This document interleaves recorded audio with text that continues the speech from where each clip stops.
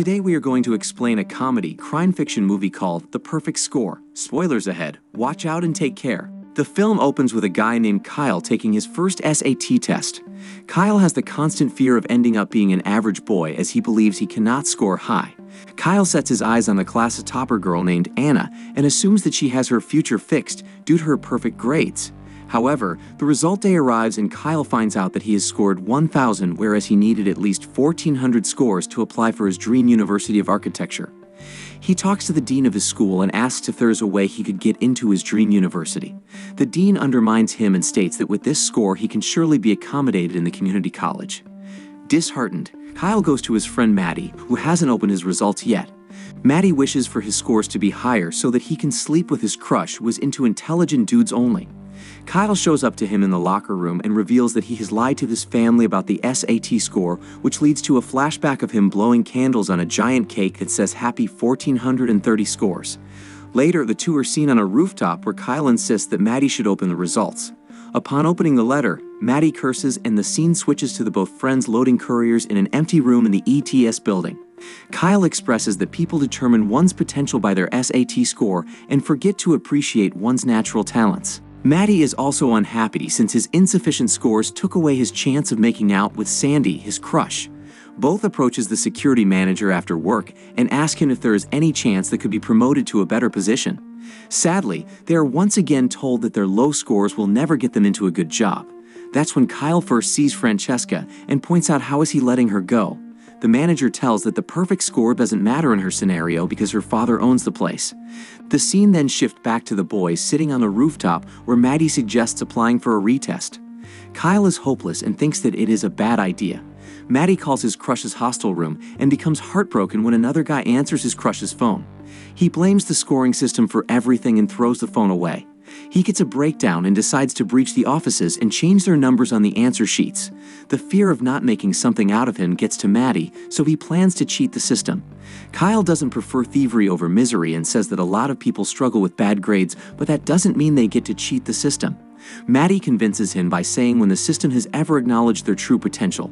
It has always favored kids who are good at memorizing course books, whereas people like them are always flicked away.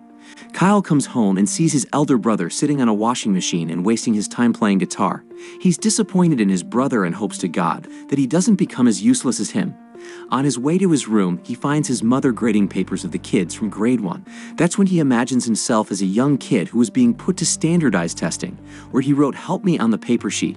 He also realizes that if he gives up on his score, he would never be able to stand up for himself and will become desperate. Dreading, he goes to see Matty and asks if he has a plan to get inside the building to steal the answer sheets. Maddie reveals that they're going to convince the daughter of the ETS owner, who studies in their school, to help them. At school, they meet Francesca and ask for her assistance, but she ignores them. The scene then shifts to their school's basketball court, where they watch the school's popular kid named Desmond taking the lead in their school's basketball team. Upon hearing the plan, Francesca is delighted. She says that she supports them for what they're doing because she thinks that SAT is unfair to women and purposefully grades papers according to a student's class and status. Despite supporting, she refuses to help them, but Kyle lays down some logical facts that gets Francesca's attention.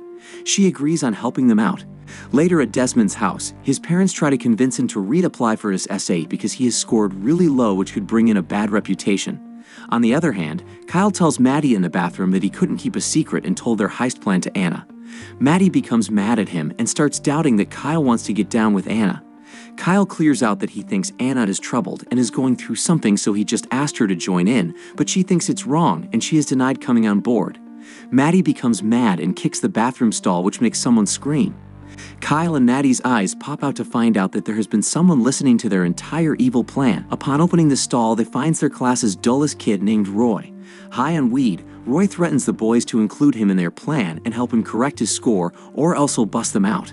On the other hand, Anna goes home to her parents who introduced her to their friend and start oversharing her achievements, which she doesn't like. She goes to her room where her mother expresses her love for retaking the exam. Anna later finds her dream university's number from the directory and finds out that they select students with at least 1,300 scores, whereas hers was 500 only. The next day, Kyle and his squad gather outside the ETS building and map out their plan on how to get their hands on the answer sheets. Francesca takes the boys into the building and dresses them as mailmen. She tells them to enter the top floor and do the remaining job on their own. Back at school, Desmond approaches Anna to get his photographs and asks if she can help him study and score higher for the test, but she says no immediately and says that she's lost and doesn't know how to score for herself, let alone helping someone else.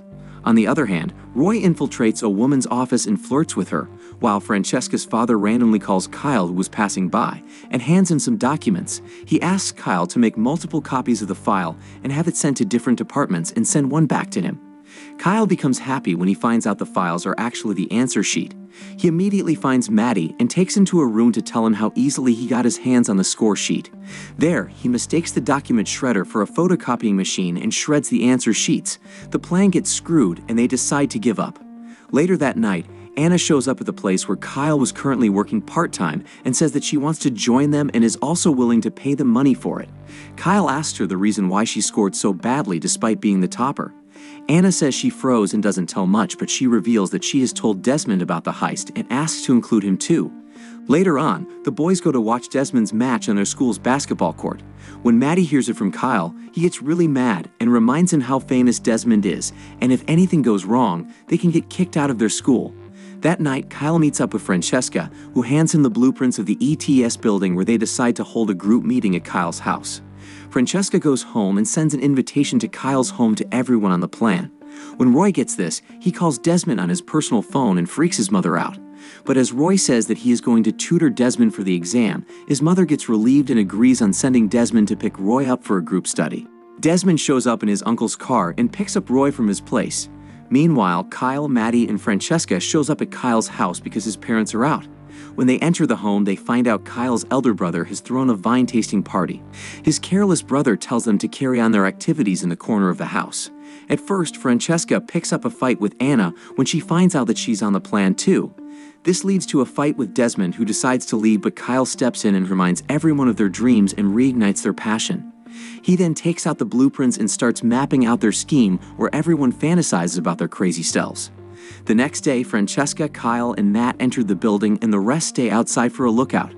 Francesca gets the security guard to shut the alarms for some luggage she has to take in like she usually does. The trio then makes its way into the building from the rooftop when everyone leaves. They wear spooky masks and jump down from a dorm. They then make their way to the room where the test answers were put. They dodge the security camera on their way. Upon reaching the room, they find that the files have been replaced. This gives Kyle the idea of sneaking into Francesca's father's office because he had told him of having an extra file on the computer. When they open the computer, they are held down by a password. This reminds Kyle that Roy is good with technology, so he finds a way to get him sneaked into the building. Matty calls his friend who works at a mall and asks him to deliver a bouquet of roses and a bottle of champagne to their address. Kyle and everyone else wait on the rooftop. When the guy finally shows up and delivers the stuff to the security guard, Francesca gives a signal to Roy and asks him to run towards the back door. Francesca then takes everyone to her father's office where Roy puts some naughty words on the computer and it gets unlocked. Kyle finds the file, but the irony is that they have to actually solve the answers. Francesca mocks them. Everyone decides to form pairs and work through the questions. They all get to bond with one another. Francesca and Matt become lovers.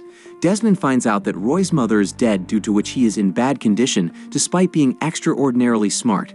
The group finally gets all the answers right and gets multiple copies made. On their way out, the security guy shows up patrolling the entire place. Francesca gets left behind, so she passes over her entry card and tells everyone to leave. While she waits to get caught, everyone else escapes through the dorm.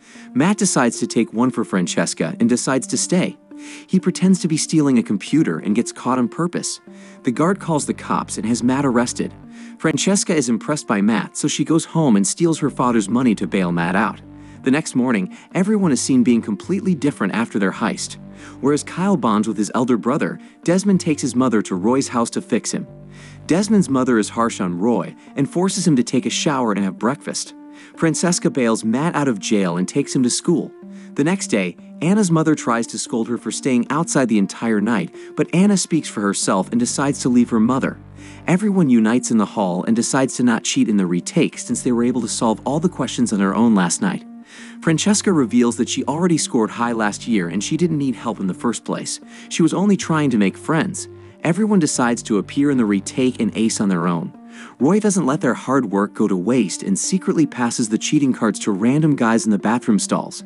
By the end of the film, Desmond excels at his SAT and joins his father's university to play basketball. Francesca writes her first novel about their heist. Matt joins a drama company and tries to get his best. Kyle pursues his career but also manages to meet Anna, who had shifted to Europe to run her life on her own. Roy becomes a video game developer with Desmond's mother's dedication and becomes rich. Kyle and Anna meets up on a train midway through their journey. Subscribe to see more videos like this, turn on notifications, and leave a like to help the channel out. Thank you for watching.